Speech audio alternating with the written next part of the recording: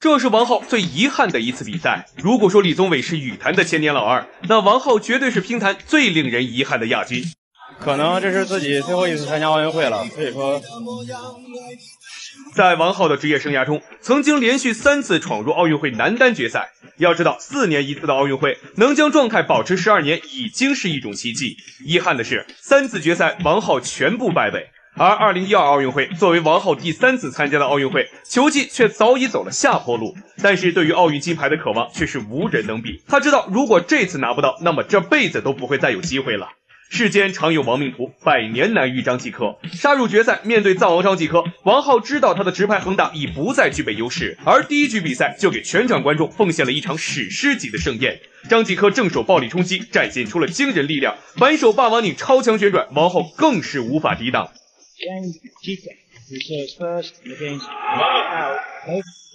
当张继科十比七拿到第一局赛点的时候，王浩十二年的期盼不允许他放弃每一个球。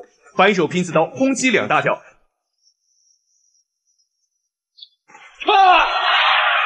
竟然奇迹的将比分缠斗到十六比十六，逼得张继科叫出了一个暂停。第一局就暂停也是史无前例的。而暂停回来的张继科稳住了军心，一个反手拧直线赢下开门红。王浩知道自己大势已去了。不会打逆风局是自己永远的痛。当看着张继科拿下最终胜利时，王浩终于流下了眼泪。这一刻，悔恨、遗憾在王浩心里百感交集。第一次是太怕输，第二次是太想赢，第三次是实在打不赢。三次奥运会最终却都输了。纵有疾风起，人生不言弃。谁又能想到，千年老二王浩却是马龙最怕的人？王浩退役最开心的人，当属马龙了。感谢之前的队友、对手。现在的教练王浩吧，因为感谢你终于退役了。马龙的战绩有多无敌，这边无需再多介绍。可是为什么会出现“马龙克星”这个词儿呢？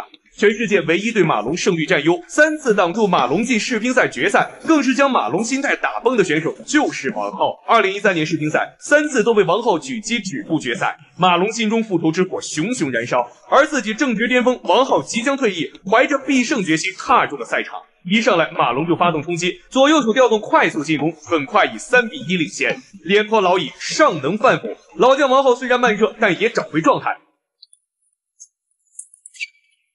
当王浩连追三分反超比分后，马龙有一次慌乱，为何对手自己依然无法压制？领先后的王浩牢牢把握优势，赢下了第一局。当两人技术相差不大时，比拼的就是心态和意志力。而大比分三比二领先后，马龙的心态早已出现波动。如果第六局拿下，将扳平比分。可是第六局一上场，老将便展现了自己泼水不漏的攻防。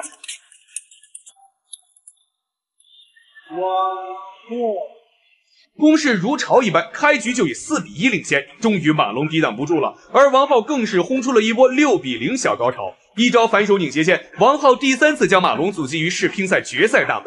当比赛结束后，又一次失利的马龙甚至一度想到了退役。可是梅花香自苦寒来，当2015年在世乒赛决赛中胜利的马龙，激动的心无法言表，更是蹦上了球台。而这一切，则是对前六年世乒赛败北的宣泄。别看如今的王浩已经发福，但他年轻时候的颜值绝对秒杀一众小鲜肉。乒坛王祖贤的美誉，真还不是吹的。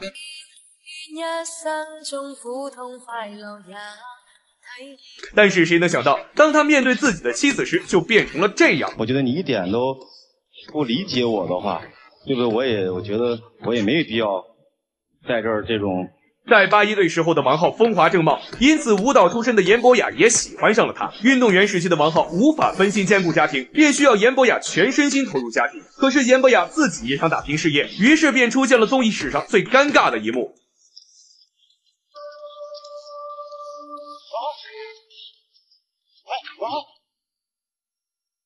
严博雅跟舞伴贴身热舞，动作尺度越来越大，伴随着全场观众的掌声。可是王浩却看得目瞪口呆，全程黑着脸，抛下一句话后愤然离场。我希望他离开这个舞台，希望他回归家庭，相夫教子。这段话看起来像是王浩大男子主义，但是相同的场景放在任何一个男人身上，恐怕都会比王浩更冲动吧。